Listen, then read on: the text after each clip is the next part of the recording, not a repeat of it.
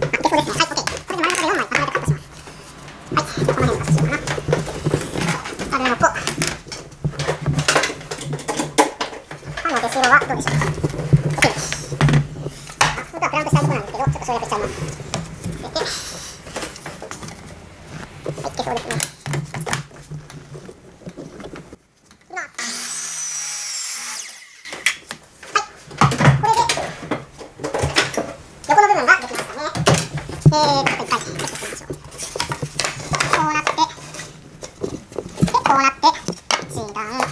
これがこ底板で、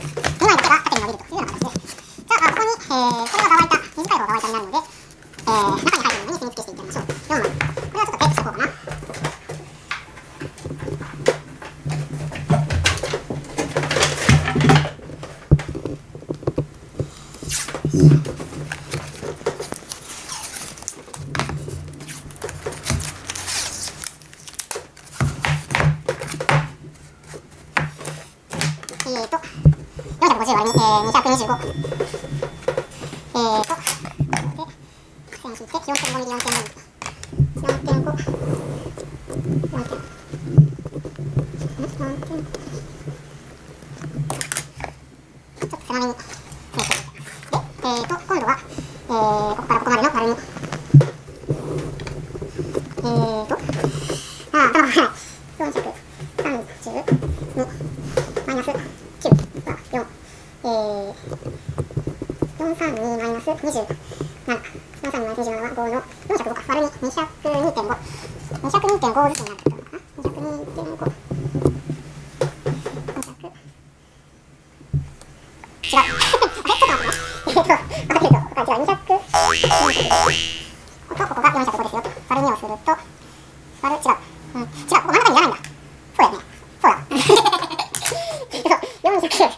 50マイナス、え、18、え、18、はい。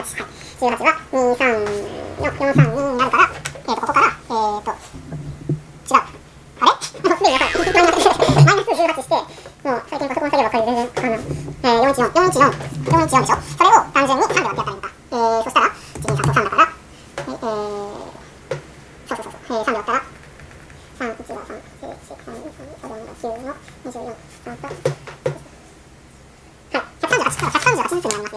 138。138。まあ、アやったな。138。違うこれ言い訳なんですけ、自分の作った時には、4段でやっんで、すっかりその、あれが頭に残っててっていう感じですね。ここから9ミリ。9ミリの。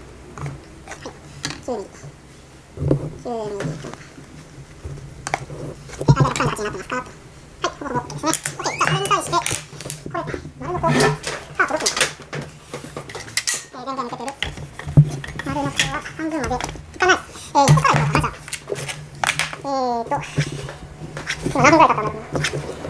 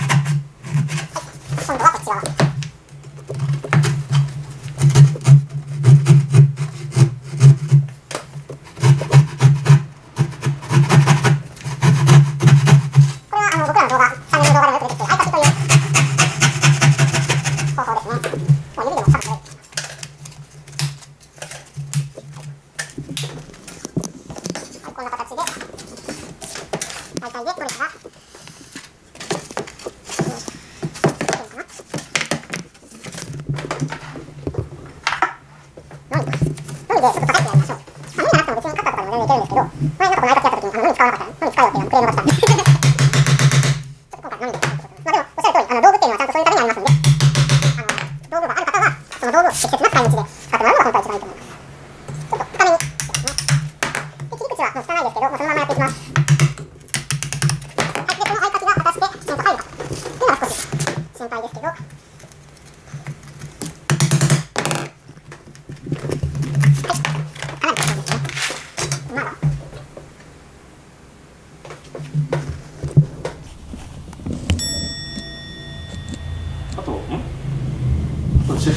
ちょっと待ってね。あと。あれ？今何分経ったか分かる？大体。あと3秒になってる。あれもう終わりました？そんな早いかな？終わりましたね。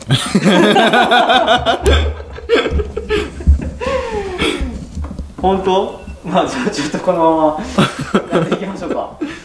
あでも録画が今17分なんで終わりましたね。はい、えっ、ー、と、このままやっていきます。これ。これ、なんでしょうね、あれ、失敗してなかったら、いったんかな。これはもう、あれですね。いや、でも、ちゃんとこれアップしよう。ね、こういうミスがあり得るということですからね。そもそもが頑張っても15分はちょっと厳しかったかもしれない。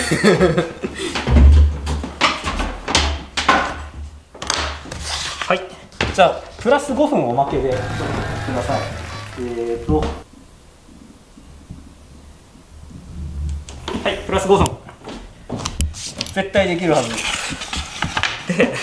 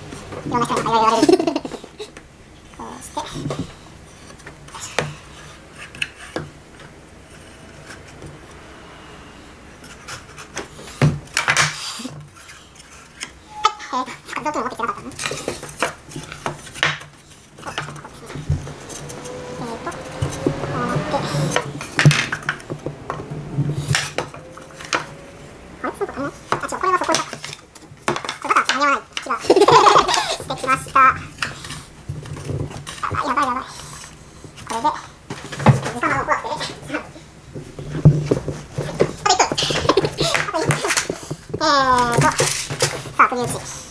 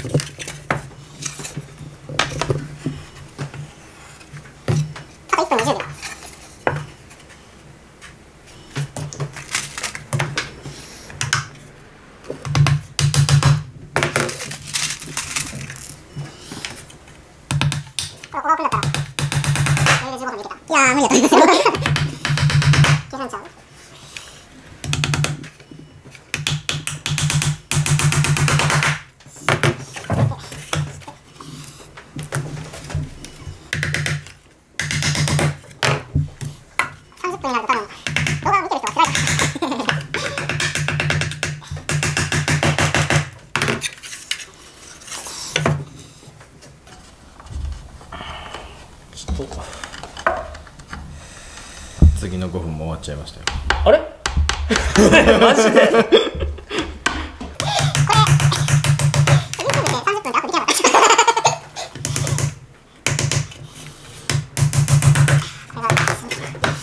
はいできましたえっ、ー、とちょっと雑巾も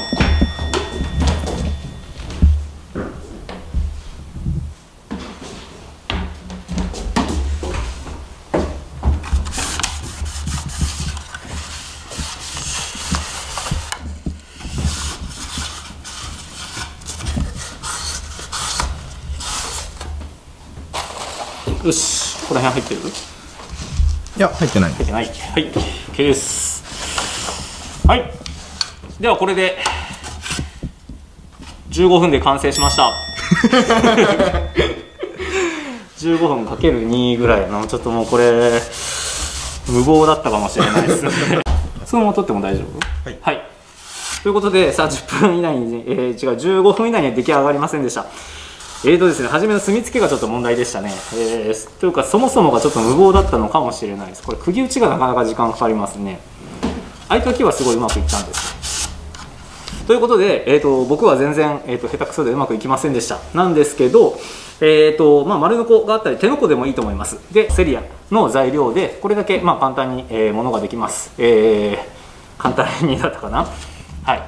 はい。ということで、合鍵という技法で、これ僕この中にお茶碗をちょっと入れようかなと思ってます。教室の中ですね、に使う、まあ、ものとして、ちょっとこれを、えー使おうかなと思ってます。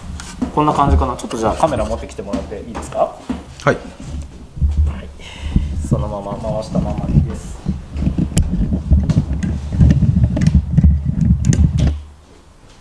まあ、ちょっとこんな感じで取り付けようかなというふうに考えてます。